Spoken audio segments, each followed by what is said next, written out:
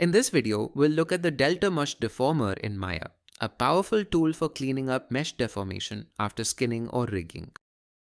We'll demonstrate it using this hand mesh, focusing on the elbow fold. What is Delta Mush? Delta Mush helps to smooth out mesh deformations without destroying the rig. It works especially well after skinning, where joints often cause unnatural pinching or jagged folding. Here's a step-by-step -step guide to use a Delta Mush deformer. To fix this, select the skinned mesh and go to Deform, then Delta Mush. You'll notice the deformation becomes smoother and the volume is preserved better. Now let's explore the Delta Mush settings in the attribute editor smoothing iterations. This controls how many times the deformer smooths the mesh. Higher values equal smoother results, but too high and you might lose form.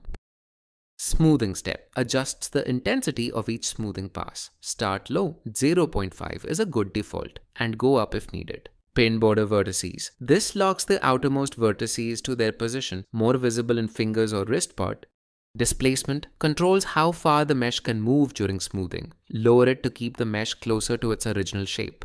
Scale limits smoothing by axis. Set Y or Z lower if the mesh is flattening in that direction. Inward constraint stops the mesh from collapsing inward, great for areas like elbows. Outward constraint prevents the mesh from bulging out too much, keeps volume in check. Distance weight applies more smoothing to nearby vertices, helpful for dense areas like hands or faces. Envelope controls the overall strength of the deformer. Set it to 0 to disable or key it for animation control.